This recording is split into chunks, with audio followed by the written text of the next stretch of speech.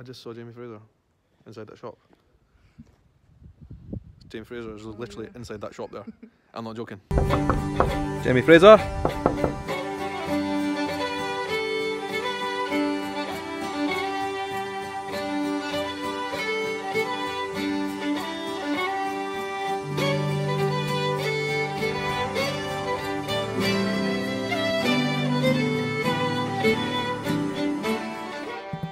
Today's vlog, I am on the Outlander Trail. They are filming close to Edinburgh and I am going after them. That sounds a bit creepy. Mm-hmm. Not in a creepy way. I am home in Scotland and Outlander is filming, so I am on the trail, as I said. And today is the last day of filming at Culross, the wee town. I don't know if you remember in season one where the where the lad got his ear nailed to the plinth, where Jamie pulled it off. Well, they're back here filming. I am here to check it out. I might be too late because today is the last day of filming. But nonetheless, we're here. We're going to take some photos, if nothing else. Let's do it.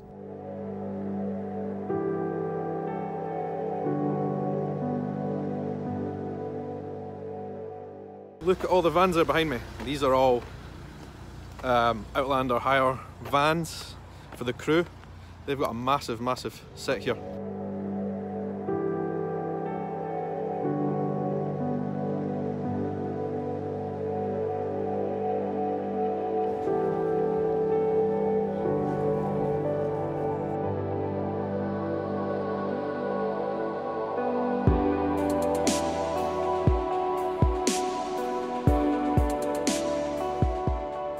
The Outlander cast is currently filming indoors at the moment inside Culross Palace.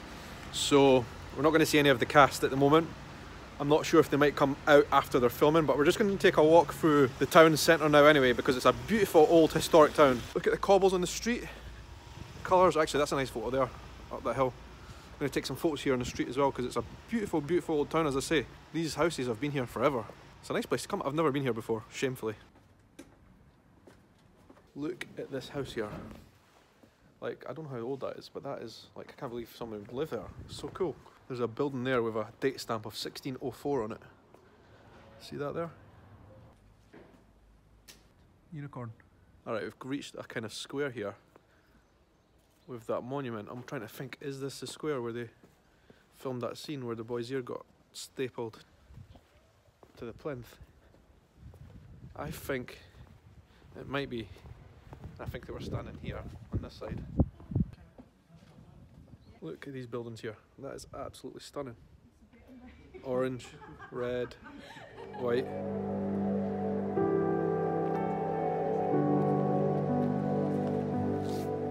Alright, so we're in the main square here at Culross, which was obviously Cranesmuir in Outlander, where Claire visited a lot of times and oh, I just saw Jamie Fraser inside that shop.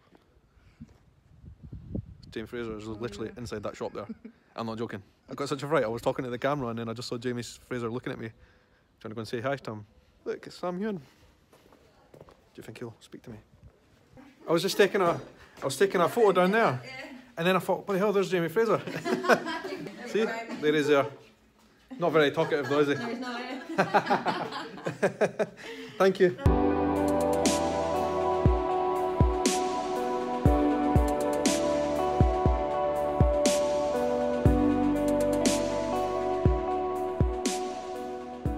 In this square, this is where all the kind of action happened where the priest condemned the young lad to get his ear stapled to the plinth, which was right here in the square. They had built a wooden platform here. These houses there were like a kind of dark grey, and that was Lacey's house right there, where she did all her potions, and that was like a lighter grey colour.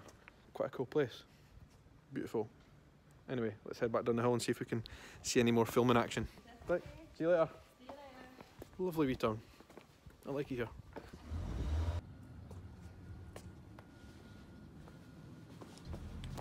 At that.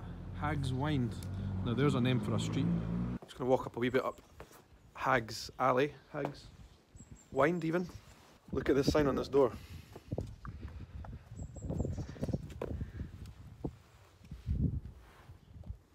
Beware of the Hobbit. Like I feel quite ashamed that I've never been here before. It's such a beautiful little town.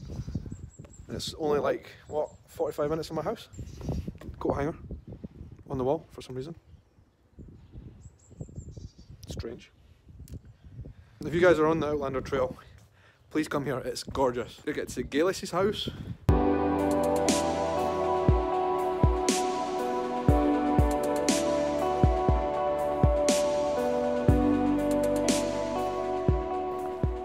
So apparently earlier on this week, Monday and Tuesday, when I was still flying from Brazil, they were filming in one of these alleys with Gaelis, with Ian, Jenny's husband. Now they are filming indoors for this last part of their filming session. But it's cool coming here anyway.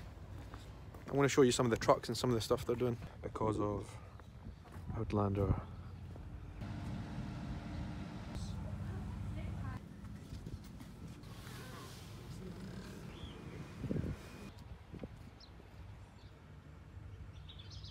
Okay, so there's a sign here which I've got a shadow over. It tells you a wee bit about the town of Culross. It's quite interesting. It says here, don't know if you can read that because the writing is quite small, that the houses here in the square that we were just at are mainly 16th and 17th century. So around the time of Outlander, these houses have been here. 1745, they would have definitely been here. Very, very, very cool place. Anyone interested in Outlander should come here. We were all waiting for the cast to come out of the palace where they were filming. And one of the guards, I think, told someone a rumour that Caitriona was there as well. I don't know why she would be there, unless they were using the site as something else in America. But anyway, it was a nice day out at Culross.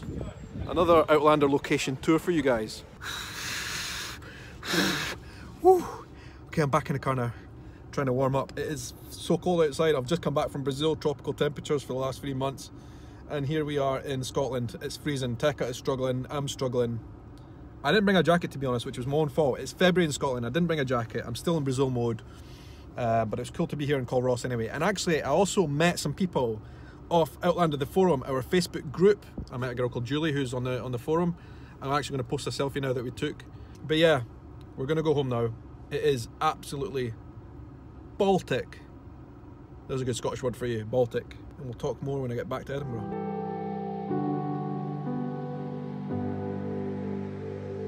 Alright guys, I'm back home after the wee adventure to Culross. Although someone who follows me on Instagram saw my Instagram posts from Culross and they corrected me. This was someone who is actually from the area, from Fife, the Kingdom of Fife, and said it's not pronounced Culross like I was saying, like an Edinburgh lad that I am. In Fife, people call it Couris. I don't really know why they call it Couris because that's not how it's written. Even as I'm a Scottish person and I didn't even know that.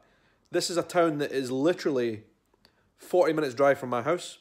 And by the way, guys, if any of you want to go there, come to Edinburgh, cross the Forth Road Bridge or Rail Bridge, and take your first left, and it's about 10 minutes down the road from there. Very close to Edinburgh, very easy to find. I'm not sure if there's public transport, but there should be. I'm going to find it difficult to say Couris. I'm going to still say Culross, because that's like natural, that's how it should. I don't know. Fifers are weird. Sorry, people for Fife, but I love you really. Anyway, guys, listen, before I go tonight, Outlander Sunday with Shaun, I've got one little announcement to make. This here is the Outlander location maps. I've still got a bunch of these to give away. They're the Outlander Season 1 and Season 2 location maps, and they're really, really good, actually. I like mine. I take it with me everywhere when I'm doing location tours. It's got all the locations on it. Folds out. It's huge. Look at that. I can't even fit it in the frame. Anyway, you get the drift. These make great posters for the wall or whatever anything you want to do with them, they're great. And on this occasion, I'm giving away 30 of them. I'm going to be signing all of them, and I'm going to be running this competition, this giveaway on my Patreon page. So anybody who is a Patreon of mine, which you can sign up for for as little as $1 per month, Patreon is a great platform which helps creators, video creators, and other artists by basically crowdfunding the work. So you can sign up to my page for $1 a month, and you'll see the post on my Patreon page. It's patreon.com forward slash Shaun Vlog, explaining all about it. And yeah, I'm giving away 30 of these signed sign up. Patreon.com forward slash Shaun Vlog. $1 a month, and I'll, I'll enter you into this competition. And there'll be a lot of other competitions on Patreon as well. So thank you very much, guys, for watching this vlog. I appreciate it. Droughtlander Sundays with Shaun are continuing. There's a lot more to come. There's a lot of Scotland to explore. I'm going to be out there hitting the road for you guys. I'm really enjoying this. I really love the interaction with you guys about Outlander. And yeah, like, I don't know, the future is exciting. One thing I've been thinking about, this just came into my head today. There is the New York Tartan Week in New York, obviously, in April. I've never ever been. I've always thought, wow, that is amazing. A celebration of Scottish culture in America, in New York. And I just thought, like, could I go to that? Why couldn't I go to that? Should I go to that? I've got a lot of friends now in New York since I went there last time. met all the Outlander gang from New York, and I'm like thinking to myself now, maybe I should go. It will be expensive to go there, but I'm seriously thinking about it.